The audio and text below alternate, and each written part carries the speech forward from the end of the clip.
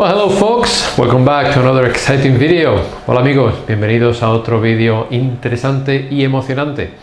I hope you like this one. This one is about the subjunctive in Spanish. Espero que os disfrutéis de este que trata del subjuntivo en español. Something uh, quite hard for foreigners, okay? Algo bastante difícil para extranjeros when they try to learn Spanish, cuando intentan aprender español. Alright, so I'm going to give you a few clues, os voy a dar unas cuantas pistas, so you can learn it and use it properly, para que lo podáis aprender y utilizar de una manera correcta, okay?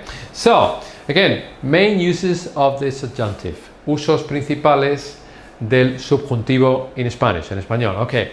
First of all, we use it to express desire, okay? Para expresar deseo, to express desire, alright? For instance, espero que apruebas. Now with an A, it will be in the indicative. So we change the A into an E and it sounds espero que apruebes, no apruebas, okay? So espero que apruebes el examen, I hope you pass the test. Okay, in English it's so much easier, you say pass and that's it. But again, in Spanish we need to change the A for the E and it becomes apruebes, okay? So that's the first use. Este es el primer uso, okay? Uh, the second use is to express emotion para expresar emoción, to express emotion. For instance, por ejemplo, me encanta que los días, we don't say son in this case because we're using this subjunctive, so we say sean. Son would be in the infinitive, but we use sean. So, me encanta que los días sean largos. I love days being long. All right? I love days being long. All right. So again, to express desire, express emotion. So far we have two, or, two of them.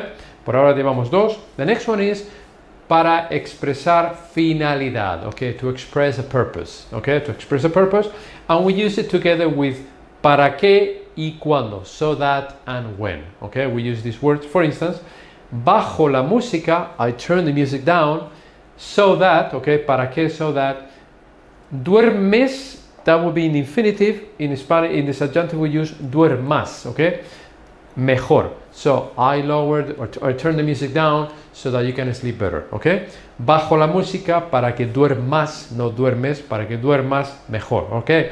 So, so far we have three of them, desire, emotion, and purpose. Okay, let's continue on the right hand side of the board. Okay, para expresar consejo, to express advice, okay? For instance, te recomiendo que visites, not visitas, that would be infinitive with the A, subjunctive with an E, Madrid, all right? So, I recommend you or advise you to visit Madrid. Te recomiendo que visites Madrid, okay? Next one. Para expresar opinión o duda, to express opinion or doubt. Opinión in a negative way, de una manera negativa, and doubt using the words perhaps or maybe, quizás or tal vez, okay? For instance, no creo que Susana baile, we don't say baila because that would be in the infinitive, we use the subjunctive with an E instead of an A. No creo que Susana baile mal. I don't think Susan uh, dances so bad or badly. Okay. I don't think Susan dances bad or badly, alright? And the last one, to express, para expresar característica, to express some characteristic about something, alright? Uh, de objeto o persona que aún no conocemos, about an object or a person that we still don't know. All right? For instance, buscamos un profesor que hable. We don't use the a, that would be again in the infinitive. We use the e in the subjunctive. Buscamos a un profesor, buscamos un profesor que hable inglés. We're looking for a teacher who speaks English. Y viva with the a, not with the e. Y viva en Barcelona. So we're looking for a teacher who speaks English and who lives in Barcelona. All right. So let's review them really fast before we go. To express desire, para expresar deseo, espero que apruebes el examen. To express emotion, para expresar emoción, me encanta que los días sean largos. To express a purpose, para expresar finalidad, together with so that or when. Bajo la música para que duermas mejor. I turn the music down so that you can sleep better. Para expresar consejo, to express advice, te recomiendo que visites Madrid. I advise you or recommend you to visit Madrid. Para expresar opinión o duda, to express opinion or doubt. No creo que Susana baile mal. I don't think Susana dances badly or bad.